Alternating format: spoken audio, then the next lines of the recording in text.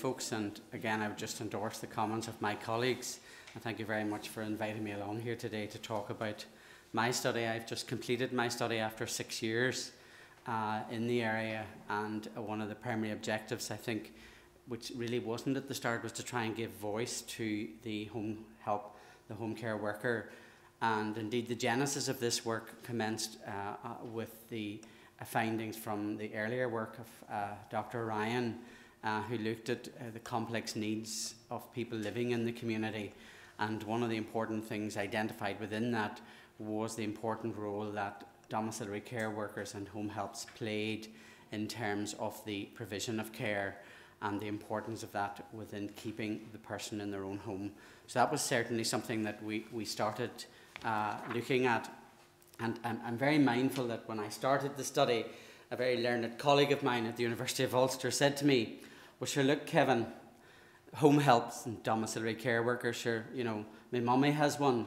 We all know what they do. What's the purpose of this? And, you know, I may have held that stereotypical view at the start, but I can certainly tell you that after six years of working with these people and listening to what they had to say uh, as a researcher and indeed as, as a nurse, I certainly had no concept. That certainly came very much into to our own family. This is my father uh, at a very early stage of uh, his own end of life, and um, uh, home help services uh, were first espoused within the actual foundations of the National Health Service way back in, in 1946. And the concept was that it would offer a cradle to grave delivery of service and I suppose it wasn't until my father actually needed some degree of home care that I actually began to appreciate what home care workers actually did. And my father, and then you'll have heard all of the figures before from my colleagues about people wanting to be at home, needing to be at home, uh, wanting to be with their family, and in effect, aging in place. And that was fundamental, certainly, for me as I started in this journey. There is, unfortunately, a background of uh, a dearth in the background of material in the role of domiciliary and home care workers, uh, simply because sometimes people do hold a stereotypical view. Indeed, that view is a view that spans right across Europe and indeed internationally and right into America in terms of the perception of this role uh, a female working with poor wages, with poor levels of training, and indeed sometimes poor levels of support. And, and we wanted to address that dearth of literature uh, we've heard quite a bit uh, this afternoon already about government legislation, and my colleagues, both of my colleagues have gone before me, have talked about the importance of transforming your care. And indeed, page seven of the document clearly identifies that home will be the hub and the importance of that there as a strategic driver. And there are many other aspects in terms of a, a growing older population, and, and Assumpta has clearly identified the population, the challenges, the complex living needs of people living at home. And indeed, here in Northern Ireland, uh, the, the, the differentiation between urban and rural provision of care, which is very paramount within our healthcare system. So there is an influence uh, in terms of the local, national, and worldwide demographic trends uh, in terms of our population and people growing older, wanting to stay at home and remain at home. So we, we set out with a study uh, with two phases using a qualitative and a quantitative approach.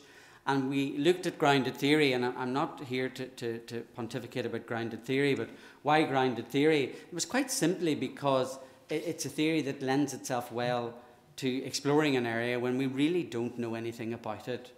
And, um, and that was what we set out to do. And we did this in various different ways uh, qualitative methods using focus groups, semi structured interviews. And I have a community forum meeting because I'm adding to the theory of grounded theory as espoused by Strauss and Corbin because such was the, the quality of what these people were about that when I went into a rural part of Northern Ireland, and had told these people that I was coming from the University of Ulster to do research, the room, there was about 48 or 50 people, women, who gave up of their time to come and speak to me about their role. Our second phase uh, was informed by phase one, where we developed our questionnaire uh, with significant validity from what we were finding in phase one, and we went out then to a wider group to test the primary emergence of our theory. So, uh, in terms of the research, why grounded theory, but it'll add hopefully to the quality of what we're about in terms of exploring this whole area and to hopefully offer us insight into the actual lived experiences of home helps. Indeed, Stacey in 2005, and a significant longitudinal study in America, identified that really there was significant dignity in what they referred to as dirty work. But really, what we didn't know, and we still really don't know too much about, is what is the lived experience of the home care worker on a day to day basis. So these are the elements of grounded theory, constant comparative analysis. We compare information as it came in from one piece of data with another piece of data, and we go out and we follow that data and we continuously ask questions. And an example of that might have been when I went out into a rural area here in Northern Ireland, and I can still see the faces of these women, and we were talking about why they did what they did.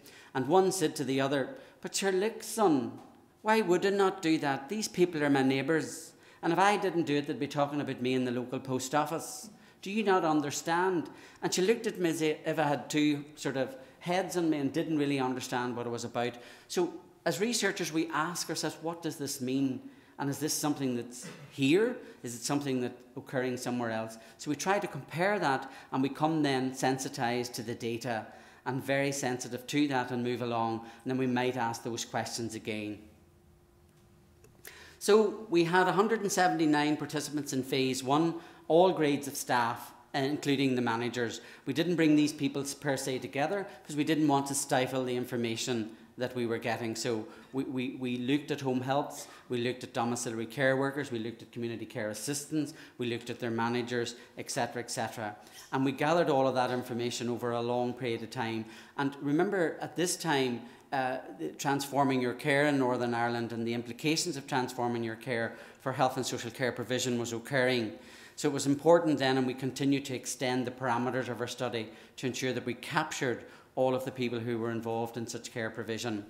In phase two, final post questionnaire to all home care staff that were employed within the Health and Social Care Trust.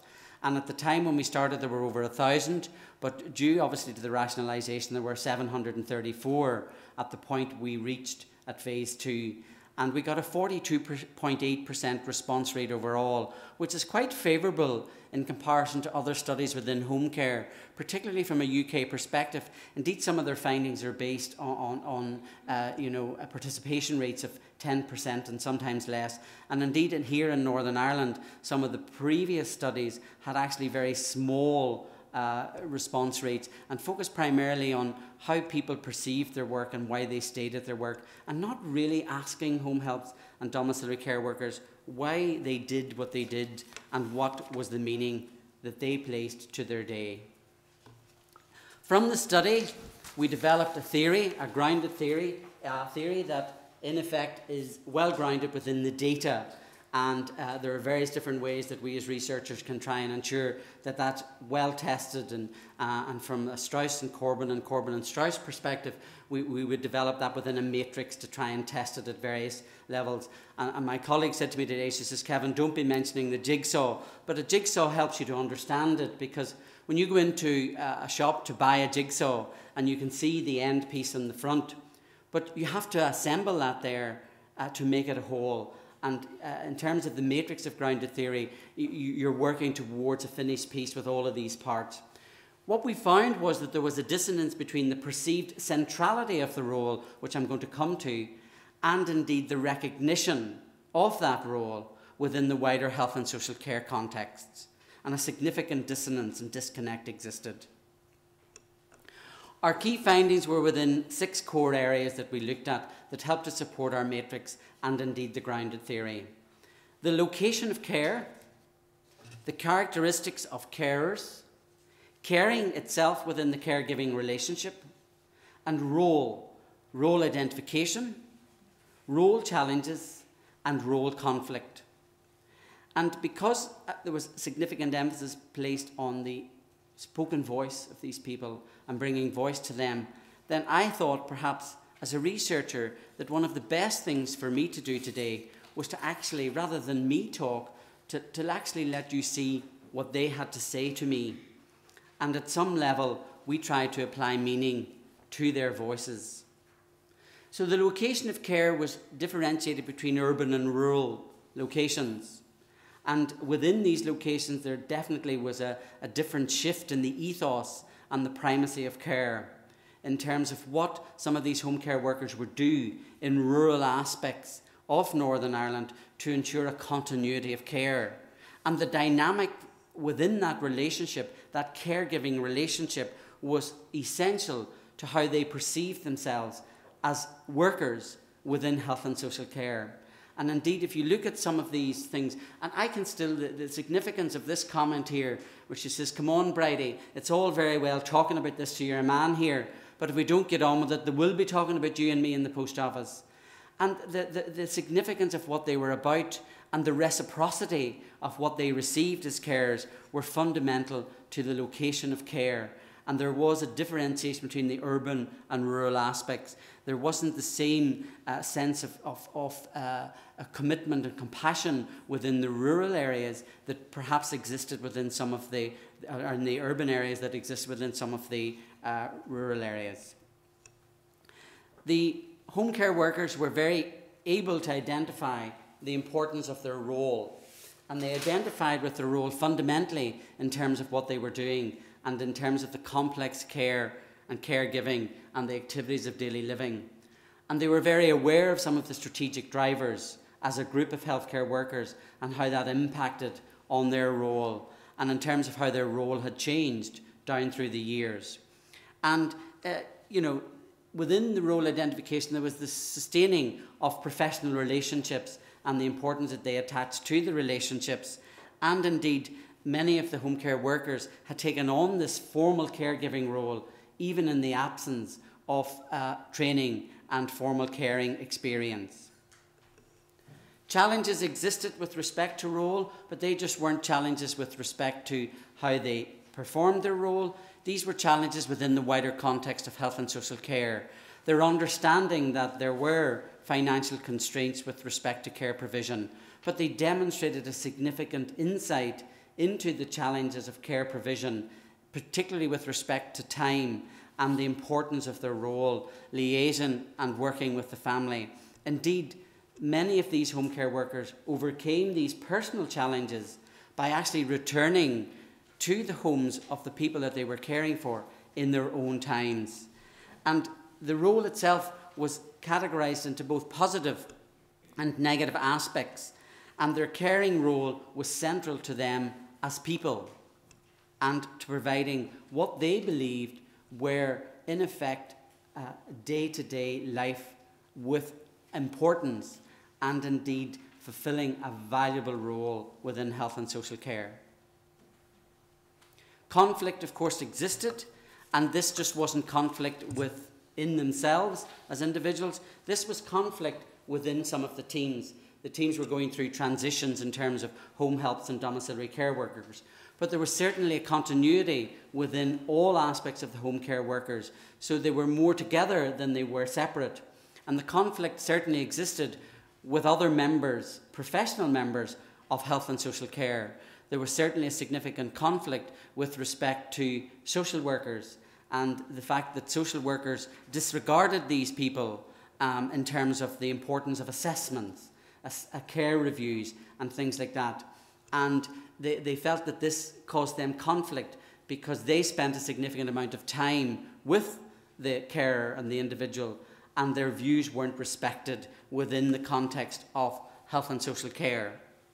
Um, they, uh, home helps themselves and the home care workers then began to develop either adaptive, either positive or maladaptive coping strategies to enable them to cope one might argue that a home help going back into a home after hours isn't something that perhaps we should condone. And indeed, when I followed through in that thought with a, a, woman who was 64 years of age herself, who didn't drive and rode her bicycle, and again she looked at me with the same degree of incredulity as to, well, why would I not go back? If I don't go back, then this person will suffer social isolation. They're part of my extended family. Of course, I'm going to go back which then brought us on to looking at what were these characteristics of carers and the importance of this and how they worked with the person and getting to know them, giving their work 100%, the reciprocity within the relationship, Carers talked about the expression of love for the client related to the individual's own personal caring disposition and their life experiences. The care and compassion of their role within the caregiving relationship enable them to treat the client as a whole person. This word, this phrase, a whole person, an individual in their own right, trying to ensure that what they were doing in terms of their caring would enable that person to remain at home for as long as they would like. And indeed, the contention was why would you not want to do that? Everybody likes their own wee corner at the end of the day. If there's enough positive care provided by us in the community, well, then it'll stop them from being shipped into a nursing home. And you'll see that my colleague has already talked about those transitions within families and the complexity that that can cause within a caring unit. In terms, therefore, of policy and policy implications, there are implications that the research puts forward for the issue of health and social care and its provision at an organisational level. The caring trajectory for the client within this concept of caring. The continuity of the caring ethos for home care within a person centred practice framework. In terms of health and social care, we have heard the significant evidence about the uh, ageing population. Stockdale in 2009 will argue that whilst we understand issues regarding ageing and an older population, they are sometimes more focused on uh, issues of pension and care rather than the understanding of the, the levels of informal caring and the continuity of caring. In terms of this, there's obviously a need to look at how we provide care, the model that underpins the effectiveness of care. And sometimes the model uh, that we, we are very reliant on and its modus operandi is not perhaps one that best serves a focus, for example, on reablement. The significance of the work that these people undertake, the value that they attach to their role, their need to be connected to caring is central to our concept of caring and indeed to the realization that if we do want to keep the home as the hub, that these workers play an essential role, an interconnected role, and the centrality of that, unfortunately, is not necessarily recognised within some of our current policy and strategy drivers. The location of care, and Assumpta has identified this in terms of the whole issue of social capital and what living in a rural community or what living in a community can do, and some of the things that these workers would do to effect caring, even in the midst of, for example, some of the very bad inclement weather that we experienced whilst I was collecting the data. You know, getting farmers to drive tractors so that they could get to a person clearly motivated by altruistic caring, selfless caring to get to their clients. Sometimes the, the same wasn't as evident within the town areas where some of the workers would say, well, look, it's not my responsibility if I can't get out. Whereas in the rural areas, they saw it as a central thing to do. Training was central and is one of the core reasons why perhaps there is this stereotypical view of the home care worker, this underpaid, perhaps undereducated, poorly trained female and there is no clear recognition. And indeed, Rolf would argue that whilst professional groups work well together, there is unfortunately that degree of dissonance between them. And this group clearly had a dissonance with other health and social care workers in terms of the recognition of what they do. How, therefore, do we ensure that we can respond to the process of change with a model for effective practice?